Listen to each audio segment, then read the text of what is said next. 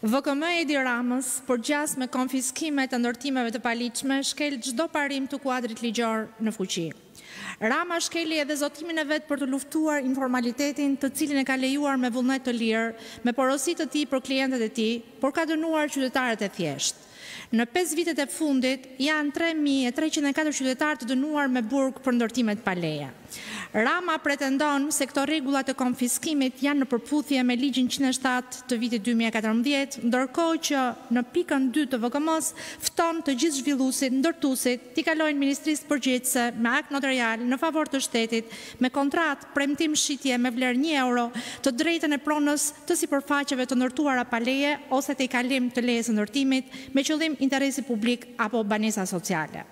Dhe në këtë rast, referuar pikës tre të VKM-së, ndërtuesi i paligjshëm po negocion me qeverinë të ndryshojë lejen e ndërtimit dhe të ligjërojë në vijim ndërtimin pa leje. Pra, shteti bëhet bashkëpronar me kriminelin përmes një marrëveshjeje miqësore. Por nuk mbaron këtu. Ndërtimet e konfiskuara sipas këtij vendimi mund t'i transferohen me të drejtë parablerje subjektit zhvillues të objektit apo çdo subjekti të autorizuar prej tij për një vlerë jo më të vogël se çmimi i tregut. Ndërkohë, çmimi i tregut për qeverinë janë vlerat e referencës, të cilat janë minimaliste krahasuar me tregun imobiliar.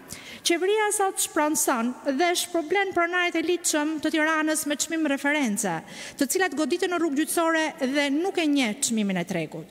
Por në rastin e mafias së ndërtimit, të cilën tashmë e bën bashkëpronare, u jep të drejtë parablerje me çmim reference, duke shpronësuar shqiptarët e thjeshtë dhe duke lejuar blerësit preferencialë të Ramës ta shesin këtë pronë me vlerën e tregut imobiliar.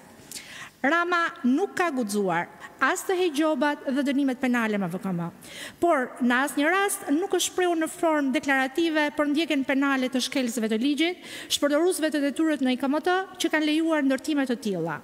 Meqë IKMT nuk vepronte me urdhër të kryeministrit, tani e angazhon me detyra që klientët e qeverisë të marrin në kohë reale dokumentacion ligjor dhe nëse nuk e bëjnë, kuptohet që Rama do t'i kallëzojë penalisht për shpërdorim detyre. Nuk ka jurist me njohuri minimaliste të ligjit dhe zyrtar në një kabinet qeveritar normal që mund të pranojë lajthitje të tilla dhe për më tepër t'i proklamojë si sukses të radhës. Qeveria ndërkohë që duhet të bëjë kallëzime penale, konfiskime etj, pranon marrëveshjen me krimin. Është përgjegjësi e SPAK dhe organeve të drejtësisë të regjistrojnë menjëherë procedim penal dhe të procedojnë të gjithë shkelësit e ligjit. Ka apo nuk ka kallëzime, si për ndërtuesit abuzues, si për armatën e inspektorëve që hanë nga paratë e taksapaguesve të varfër dhe majmen nga xhepat e kriminelëve.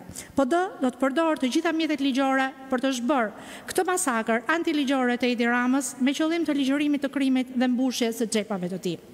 PD nuk do të lejojë zbatimin e këtij plani armiqësor ndaj shtetit dhe shqiptarëve, kriminelët do të dënohen dhe në asnjë rast nuk do të rehabilitohen dhe të bëhen palë me shtetin. Ata do të kthejnë çdo gjë të marrë pa të drejtë dhe çdo pasuri të konfiskuar sipas ligjeve në fuqi do i kalojë shqiptarëve.